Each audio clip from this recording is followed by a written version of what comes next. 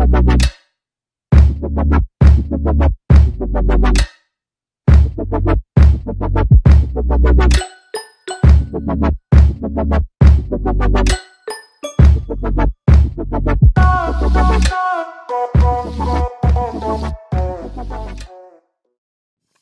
Hello, xin chào tất cả các bạn, lại là mình đam mê cá vàng đây. Hôm nay thì mình sẽ chia sẻ với các bạn một số điểm khác nhau giữa nuôi cá vàng ở trong phòng và nuôi cá vàng ở ngoài trời. Mình hy vọng rằng với video này thì mình có thể giúp cho các bạn à, hiểu rõ hơn về cách nuôi ở hai môi trường khác nhau này Và cũng có thể giúp cho các bạn chọn một môi trường nuôi thích hợp cho mình mà cũng thuận tiện cho các bạn nữa. Trước khi mà xem tiếp video thì bạn nào chưa nhấn subscribe và nút chuông thì các bạn hãy dành 3 giây thôi để đăng ký và nhấn nút chuông cho đam mê cá vàng nha. Từ đó thì các bạn sẽ nhận được thông báo khi mà đam mê cá vàng có video mới nha. Ngoài ra thì các bạn có thể theo dõi các bài viết chia sẻ về kiến thức cá vàng trên Facebook à, đam mê cá vàng và Instagram cùng tên. Và để mua các sản phẩm chăm sóc cá vàng thì các bạn hãy mua hàng tại Shopee. Với từ khóa là đam mê cá vàng thì các bạn sẽ tìm thấy shop. Đầu tiên thì mình sẽ chia sẻ về cái hồ cá đặt ở trong phòng ha. Đối với hồ cá đặt ở trong phòng thì cái chất lượng nước của hồ cá có sạch hay không á, là điều này còn nhờ vào cái vi khuẩn có lợi và có hại bên trong máy lọc của nước Cũng như là mình gọi là vi sinh á. Còn chất lượng nước sạch có duy trì được trạng thái ổn định lâu dài hay không thì điều này sẽ phụ thuộc vào cấu tạo của bộ lọc nước. Do đó thì khi mà nuôi cá ở trong phòng thì cái hệ thống lọc hết sức là quan trọng và tiếp theo đó là đôi khi các bạn à, à, khi mà nuôi cá trong phòng á, thì nhất là đối với phòng máy lạnh thì các bạn thường dùng máy sưởi để kiểm soát sự chênh lệch nhiệt độ nước nuôi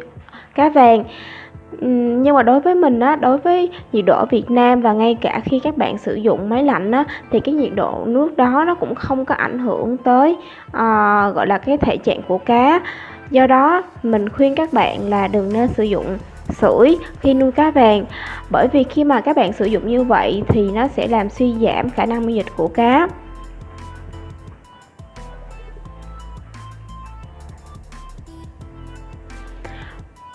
Có một điều bất lợi nữa đối với việc nuôi cá ở trong phòng Đó là khi nuôi cá trong phòng thì cái khả năng miễn dịch của cá nó sẽ thấp hơn là nuôi cá ngoài, ngoài trời và đối với vấn đề này thì chúng ta có thể xử lý bằng cách là à, tăng cái bột tỏi cho cá là các bạn sẽ chăm thêm bột tỏi trong hồ cá à, ngoài những cái yếu tố gọi là cơ bản như là phải chăm vi sinh nè à, rồi à, vitamin C, à, alpha D3 chẳng hạn thì cái việc mà tăng bột tỏi, chăm bột tỏi cho cá nó sẽ khiến cho thể trạng của cá, à, khả năng miễn dịch của cá sẽ trở nên mạnh mẽ và tốt hơn.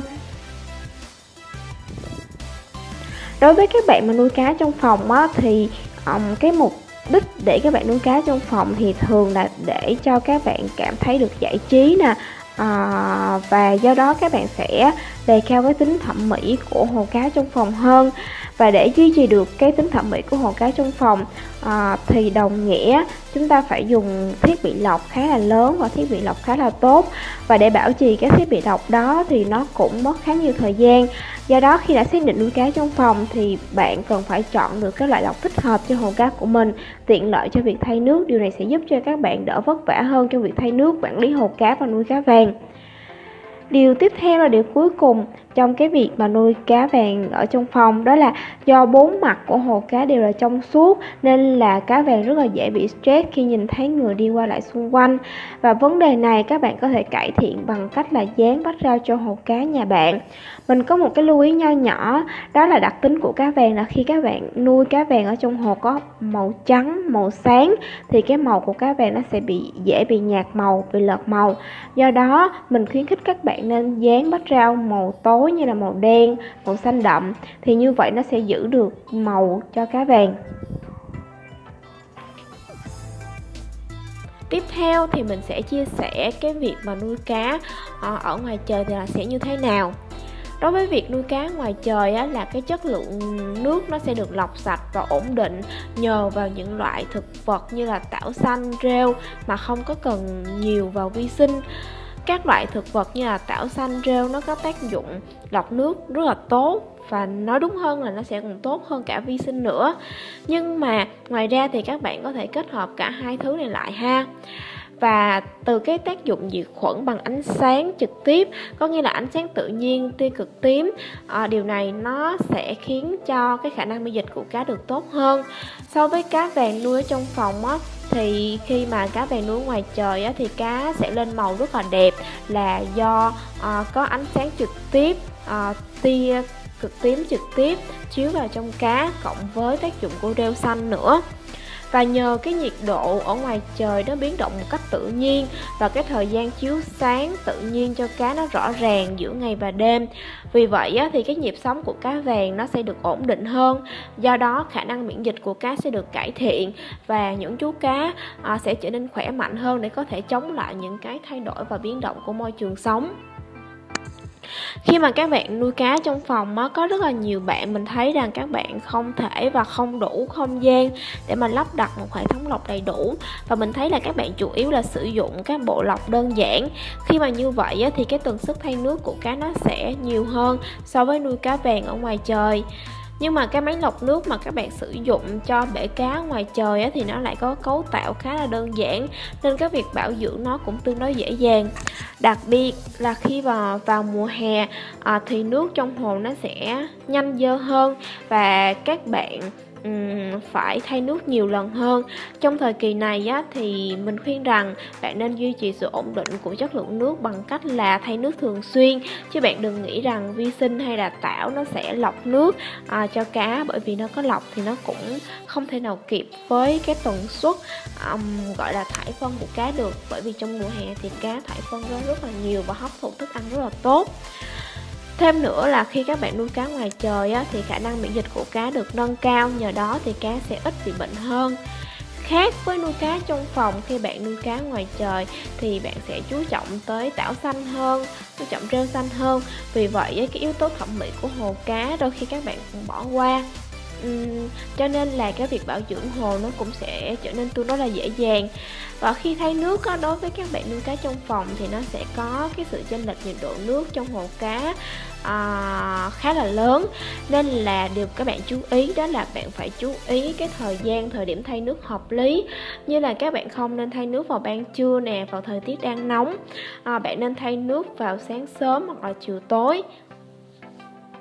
so với nuôi cá um, ở trong nhà thì các bạn nuôi cá ngoài trời thì cá vàng nó sẽ có một cái tốc độ tăng trưởng nhanh hơn. Và một phần nữa cũng là do cái diện tích bề uh, diện tích bể nó lớn hơn. Khi mà nuôi cá ngoài trời vào mùa hè thì các bạn phải chú ý là bạn phải cần phải lắp đặt là bạt che nắng nè và kiểm soát cái ánh nắng mặt trời trong ngày để tránh tình trạng nhiệt độ nước bị tăng quá cao. Ngay khi là vào mùa đông chẳng hạn thì cái lượng bức xạ nó cũng khá là cao nên là nhiệt độ nước có thể bị hạ thấp hoặc là dễ bị dao động. Do đó bạn cần phải che bể cá của bạn là bằng một cái tấm uh, tôn hay gì đó để hoặc tấm tôn trong suốt cũng được để vừa đảm bảo được cái ánh sáng bên ngoài vừa thoáng khí vào mùa mưa nếu mà để một cái lượng nước tràn vào trong bể thì sẽ gây ra sự biến đổi. À, độ pH trong nước rất là lớn và như vậy cá nó sẽ rất là dễ bị các căn bệnh như là đốm đỏ nè xuất huyết nè. Vì vậy là bạn cũng phải cần có những cái biện pháp chống mưa để mà um, tránh nước tràn vào bể điều cuối cùng đó là uh, mình nghĩ là cũng hiếm gặp nhưng mà cũng không phải là không có đâu. À, khi bạn nuôi cá ngoài trời á, thì cá vàng của bạn sẽ có nguy cơ bị tấn công bởi các loài vật khác như là mèo uh, chó chim chẳng hạn. Vì vậy nên là bạn phải che đậy hồ của mình thật là tốt bằng cái lưới chẳng hạn để những con vật khác không không thể nào mà mở bể cá ra để tấn công những chú cá vàng đó được à, vậy là xong rồi. Vậy là mình đã so sánh xong cách nuôi cá trong phòng và ngoài trời nó sẽ khác nhau như thế nào và cần có những điểm lưu ý như thế nào. Các bạn có thể ừ, tham khảo và chọn ra cho mình một môi trường nuôi phù hợp cho cá vàng và cũng tiện cho các bạn nữa nhé. À, cảm ơn các bạn đã xem đến cuối video nha. Các bạn đừng quên là nhấn nút subscribe và nút chuông để nhận thông báo khi mà đam mê cá vàng có video mới nha. Xin chào và hẹn gặp lại. Bye bye.